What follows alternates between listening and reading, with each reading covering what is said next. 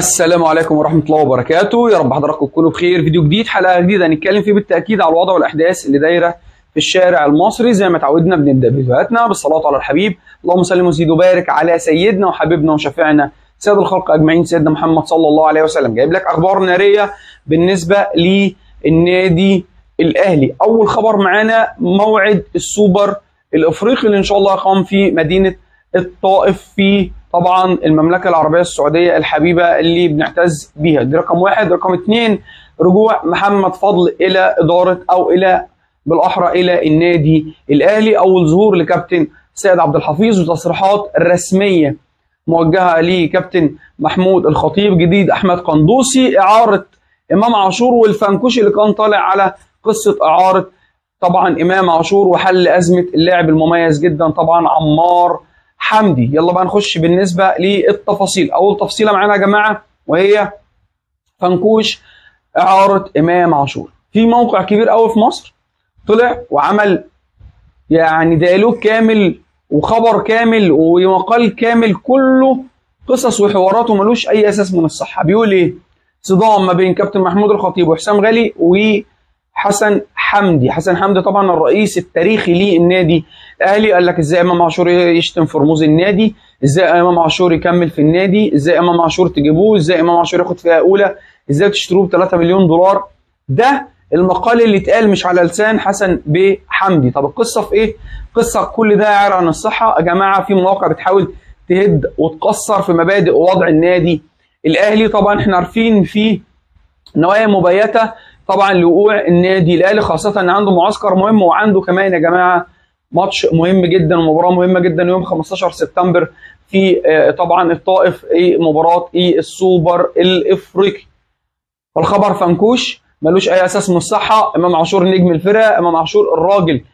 متوقع منه حاجة مميزة جدا إدارة النادي الأهلي برئاسه كابتن محمود الخطيب كابتن خالد بيبو كابتن كمان حسام غالي قعدوا مع الإمام عاشور. قوموه جدا نفسيا وقوموه اخلاقيا. الناس حابة اللاعب اللاعب مميز اللاعب كبير اللاعب من أفضل أفضل اللعيبة اللي كانت في الدوري المصري. وأنا متوقع له إن سنة أو اتنين هيحترف في الدوري السعودي لأن لعيب كبير ولعيب متميز جدا جدا جدا جدا.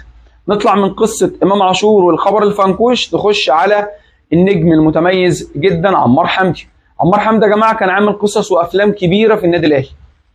وأنا مش قاعد وعايز فلوسي كاملة وأنا مش قاعد دكة وأنت لو أنا لازم أقعد وأنا لازم أعمل وأنا لازم أسوي طب القصة رست على إيه؟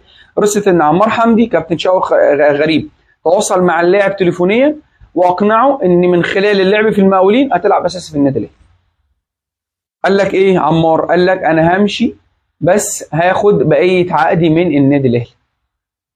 يعني إيه؟ يعني أنا همشي وآخد 3 مليون جنيه اللي أنا ماضي عليهم في النادي الأهلي غير اللي هاخده من المقاولين. طبعا ده لو دراع يا عم عمار انت لسه بتسمي في كرة القدم مش انت اللي هتلوي دراع النادي الأهلي؟ انت لسه بتسمي زي ما بيقولوا. طب القصة في إيه؟ إن نادي المقاولين هيدفع 2 مليون جنيه ثمن الأعارة للنادي الأهلي ونادي المقاولين هيتحمل كل فلوس عمار حمدي. اللاعب رافض. اللاعب رافض. فالنادي الأهلي عرض على نادي المقاولين قال له هات 5 مليون جنيه هناخد 2 مليون جنيه وهندي اللاعب 3 مليون جنيه. وانت اما اللاعب يروح لك انت حر تديله ما تديلوش. إدارة نادي المقاولين رافضة تماما برئاسة طبعا المدير التنفيذي محمد عادل. باشمهندس محمد عادل الراجل المحترم الراجل اللي بيحب وعاشق لنادي المقاولين. عمار قصته هتخلص لأن عمار محتاج يلعب كورة والنادي المقاولين عايزه. هيدفع 2 مليون جنيه النادي الأهلي والنادي المقاولين هيتكفل باللاعب هيديله 3 مليون جنيه لقائمه تقاضاهم في النادي الأهلي. اللاعب طماع عايز ياخد من الأهلي ومن المقاولين. ده طبعا ده مش هيحصل. فأزمة عمار حمدي يا جماعة خلاص هتخلص. دي حاجة. الحاجة الثانية تعالى نخش على البلوه المسيحة اللي بقى لنا أكتر من شهر عمالين ندب فيها هي أحمد قندوسي وعرض أحمد قندوسي وأفلام أحمد قندوسي. جاي له عرض رسمي من النادي العربي الكويتي ب 400 ألف دولار للنادي الأهلي و200 400 ألف دولار عفوا للاعب واللاعب بياخد 450 و200 ألف دولار بالنسبة للنادي الأهلي. حاجة حلوة أهي حاجة كبيرة أهي. اخفى بقى عننا وروح العب في الدوري الكويتي وارجع لنا السنة الجاية فايق ورايق أحسن من سيراميكا اللي كان النادي الأهلي هيدفع من جيبه. دلوقتي النادي الأهلي هياخد 200000 دولار فاستفاد. والنادي العربي هيدفع الراتب اللي بياخده أحمد قندوسي. فقصة قندوسي بنسبة 80% أهي شبه خلصت. النادي العربي الكويتي نادي من الأندية الكويسة. نادي محترم ونادي ليه أساس ونادي الشعب الكويتي شعب محترم.